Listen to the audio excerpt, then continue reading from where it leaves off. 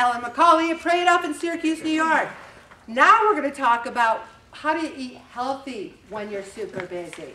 Because so often people think it takes a shorter amount of time to call the pizza delivery guy, to wait for him to drive there with the pizza, than to go to your fridge and make a healthy salad with chicken on top. I have a stopwatch and I'm more than happy to go to your house and time you while you're waiting for that delivery guy to come with the pizza while you're making that salad. And I have a guess that you can make the salad in a faster time than that pizza can get there. But the thing is, you have to have the ingredients. So you do have to make the time to go to the store. And we are so blessed I mean, there are people in, in, uh, in countries that have to drive miles and, or, or, or, wait in huge lines. We can go to Price Chopper, we can go to Wegmans, we can go to Tops, we can go anywhere we want. We can stop there on the way home from work. There's no huge lines. I mean, if we've got to wait in line behind two people in the checkout, we're like, two people? Can't you open more registers? I'm waiting here. We, we're so impatient. So what do you do when you think we're too busy?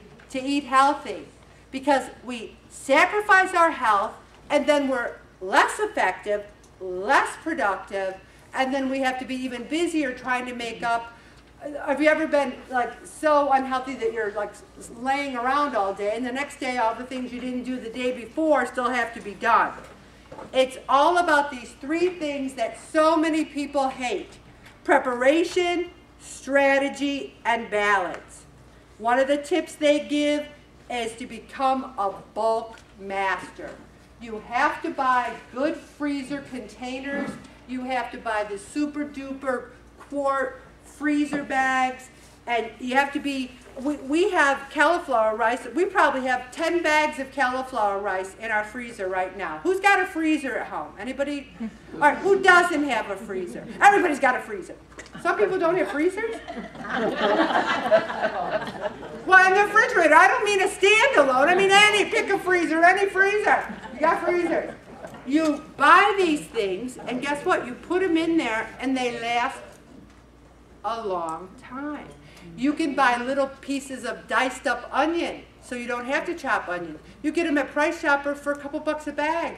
Peppers, everything. And you might say, I like fresh better. So do I. But if you're not cutting up fresh, frozen's better than, than pizza. And you'll say, well, I can put it on my pizza, can I? Let's, let's not say that.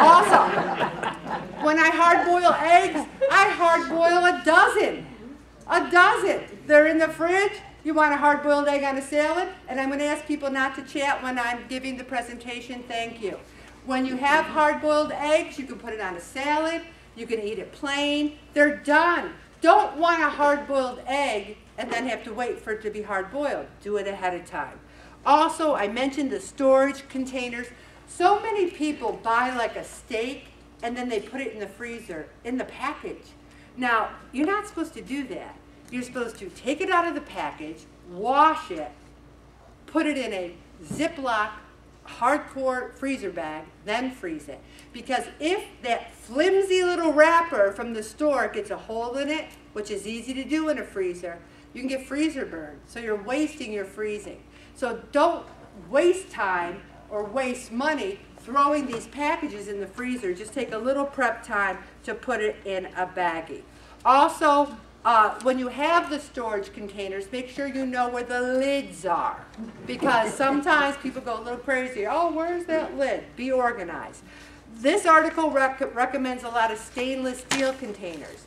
This woman takes a stainless steel container to work with her lunch. In it, she's got hard-boiled egg, sweet potato, raw veggie, little olive oil, and some protein like sausage or salmon, all in one container. That sounds delicious to me. I would eat that. Sounds good.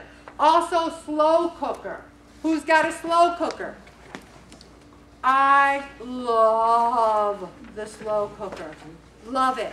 We put pork in there. We pull it. And you don't have to have honker barbecue sauce with that high fructose corn syrup. You can just have pulled pork and then put Frank's hot sauce on it, which is all natural and, and calorie free, and it's delicious. So then you can have pulled pork separate. You can have it on a salad. You do not have to have pulled pork on a bun. There's no rules that say you have to have it on a bun. But you could put these things, meat in a, ever have like chicken in a, you could have pulled chicken. You can have anything in, in that slow cooker or crock pot. Also have healthy snacks on the go. Now what I'm noticing is that people are taking a 300 calorie healthy bar, like a Kind bar or a uh, Kashi bar, and they're having them as snacks, like two or three of them. And the thing is, yeah, they're healthy, but they're really, like when I have a Lara bar, 220 calories, I have that as a meal replacement. Mm -hmm. I don't have it as a snack. So if you're eating three healthy meals a day and you want a snack, I wouldn't do a 200, 300 calorie uh, bar of any kind because it's too many calories. But have them handy. Yesterday I had a meeting and I didn't have time for lunch because I worked through lunch, but I had that Lara bar handy. So that really got me through. Also strategically shop. I talked about the frozen veggies. You have the, the meals. Apples last forever. And make homemade applesauce this time of year. You don't have to put sugar in it. We eat it with a little cinnamon. The apples are sweet enough, especially if you get Honeycrisp. Shop locally. I told you about embracing the freezer. You can put berries, peppers, squash. You can dice up your sweet potatoes, dice up your potatoes, and put them in the freezer bags and just throw them in a pan with a little olive oil and cook them right up. Also, have some no prep foods like white albacore tuna, salmon in a can. Now sardines. I don't eat sardines, and you know why? Because I never have. I might love sardines, but just the visual of sardines. Now, is there anyone here who wants to marry sardines? Uh, one person. Can you see me afterwards and tell me what you like about them? Because they're so good for you. So I, I might have to try them just to see. And ditch the perfectionist mentality. Do the best you can. I say to people, try to be good three or four, I say good. Try to eat healthy, move more three or four days a week because what happens is they do great for one day. I did great. I did great. Oh, I'm not doing great. Forget it. I'll do great next week. And then that whole cycle begins again. Also, here's another article that's similar, but some other tips. Cook once, eat two or three times. If you do not like leftovers, I tell you to get over it. Get over it. Be creative. Because if you don't want to eat it the next day, we have refrigerators.